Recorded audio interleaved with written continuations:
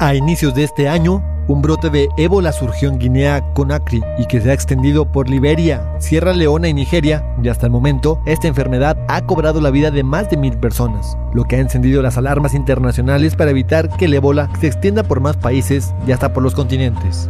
Y es que esta enfermedad es altamente contagiosa. Se cree que se transmite por los fluidos corporales, sudor, saliva, sangre. Cualquier contacto con un enfermo es peligroso. Esta enfermedad fue descubierta en los años 70 en algunas regiones rurales de África y hasta el momento no hay una cura. En rueda de prensa, la secretaria de Salud Federal, Mercedes Juan, explicó que se están adoptando las medidas de prevención necesarias como establece la Organización Mundial de la Salud. Dijo que se encuentra la llamada prevención de vuelo en las que se aconseja a las personas informar sobre cualquier padecimiento, sobre todo de quienes han viajado a países africanos. Explicó que México ya aplicó medidas preventivas en semanas recientes, como la prevención de viaje en los principales aeropuertos, donde se hacen recomendaciones a las personas sobre su estado de salud con el propósito de detectar los síntomas y es que los sistemas de seguridad y de salud se activaron en varios países. En algunos se han prohibido los vuelos y la revisión para los pasajeros que provienen de aquel continente, principalmente de los cuatro países afectados. Ya hubo registro de muertos por ébola en Estados Unidos y España, de personas que fueron trasladadas desde África hasta sus países, personal que trabajaba o ayudaba en la región.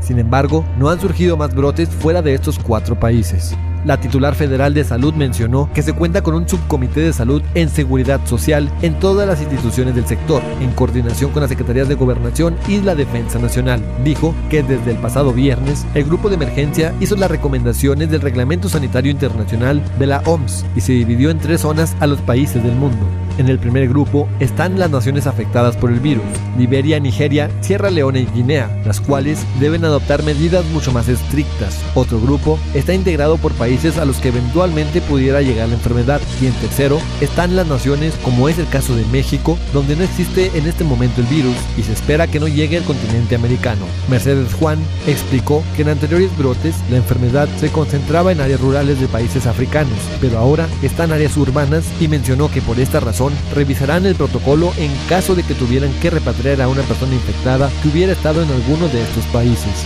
Informó para Antena TV Gustavo Ramos.